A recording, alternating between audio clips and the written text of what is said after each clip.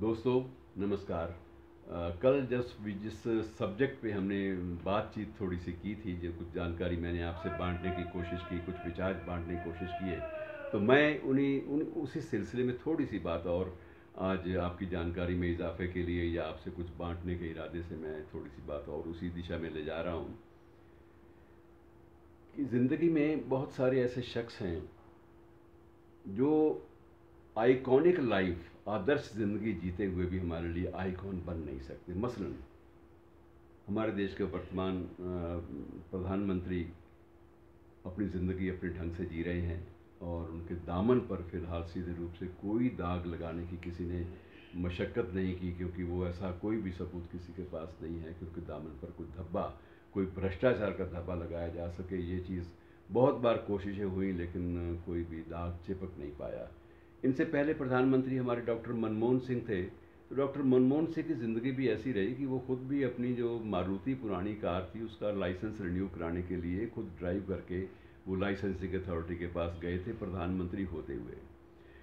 इनसे पहले जो प्रधानमंत्री थे, श्रीमती इंदिरा गांधी के बारे में मैं ज़्यादा टिप्पणी नहीं करना चाहूँगा, क्योंकि उनकी ज़िंदगी जो है एक खुला, खुली किताब है। सबको मालूम है कि उनकी ज़िंदगी में बहुत सारी अनियमितताएँ चाहे अनचाहे होती गई।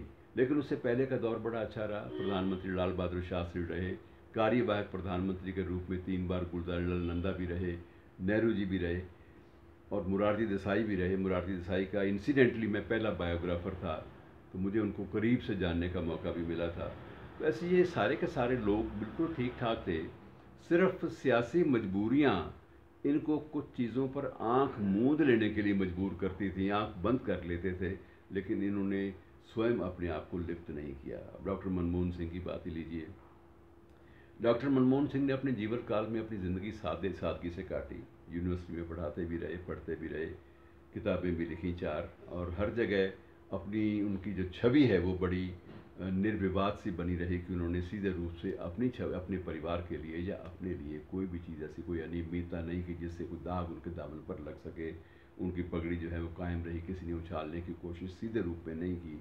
लेकिन उनके कार्यकाल में उनकी टीम ऐसी थी कि जिसमें ज़्यादातर चेहरे दागदार पाए गए। तो ये अब इन तकलीफ़ों का क्या हो? आप अगर ठीक भी हैं, आप अगर आपकी नीयत ठीक है, आपका दामन दाग निजी रूप से दामन दागदार नहीं है, लेकिन आपके अगर आसपास चलने वाले लोग, अगर किरदार सारे के सारे आपके ऐसे होंगे तो आप क्या करेंगे?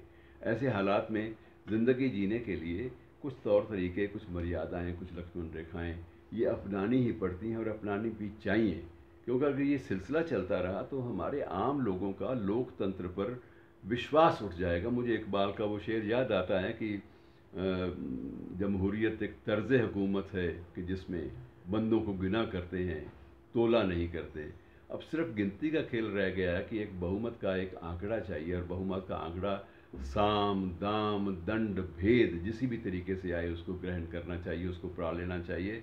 ताकि उसके बाद सत्ता में राजनीतिक अस्तित्व अपना बनाए रखने के लिए लोग चलते रहें।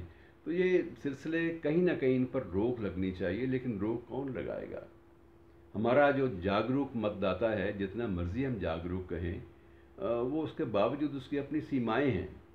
इलेक्टोरल कॉलेज हमारे यहाँ वो नहीं है जो अमेरिका में सिस्टम है। इलेक्टोरल कॉलेज का वहाँ बाकायदा पहले चुनाव होता है और उसके बाद फिर इलेक्टोरल कॉलेज जो है वो आगे चुनाव प्रक्रिया को चलाता है।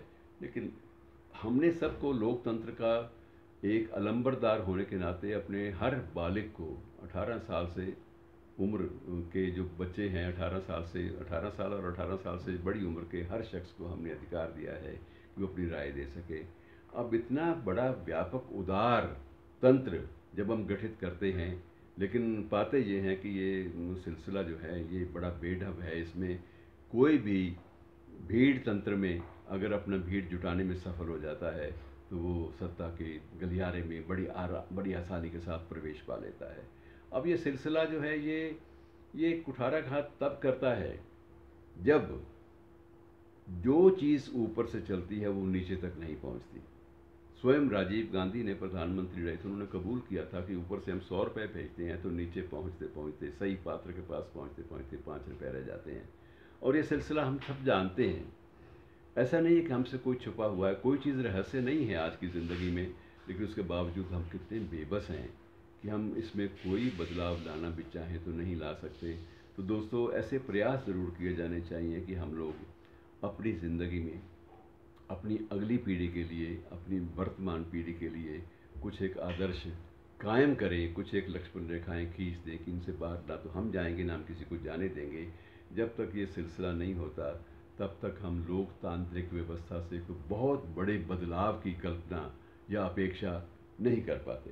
आज भी तरीका यही है कि आज भी सत्ता पक्ष के लोग, चाहे वो वर्तमान हो, चाहे अतीत में हो सबने अपने अपने वक्त में कुछ ना कुछ किया है और आलोचना के दायरे में सभी लोग आगे रहते हैं दूसरे पर कीचड़ उछालने के मामले में। मुझे वो कुमार बारा पंकवी साहब का भी शेर याद आता है कि तबसरा जब किसी पर किया कीजिए, कि तबसरा जब किसी पर किया कीजिए, आईना सामने रख लिया कीजिए। दिक्कत यह है कि आईना सामने रखने के लिए कोई तैयार नहीं है। और इन तकलीफ़ों के होते हुए हमें कुछ न कुछ रास्ते तलाश करने पड़ेंगे, जिनसे ज़िंदगी में बेहतर वैल्यूज़ की, बेहतर जो जीवन के जो मूल्य हैं उनकी स्थापना हो सके। मित्रों, उनके बिना ज़िंदगी जो है, वो सुख से ना तो काटी जा सकती है और ना ही आने वाली पीढ़ियों के लिए कोई एक नया देश बनाने की का, परिकल्पना की जा सकती है। अगर परिकल्पना करनी है तो कुछ संकल्प चाहिए और कुछ इरादे मज़बूत होने चाहिए। जो इरादे मज़बूत अभी तक हो नहीं पा रहे। संकल्प जो है वो अभी तक दृढ़ता से उनको लागू करने की जो बात है वो भी समझ में नहीं आती। जो जो संचार तंत्र बड़ा है, त्यों त्यों प्रचार तंत्र भी इतना ज़्यादा पेचीदा हो गया है कि इस माहौल में अपनी आबरू को, अपने मुल्क की आबरू को, अपने देश की आबरू को, अपने समाज की आबरू को बचाए रखना बहुत पेचीदा काम है। बहरहाल विचार विमर्श चलता रहना चाहिए। और इन्हीं शब्दों के साथ मैं आपसे विदा लेता हूँ।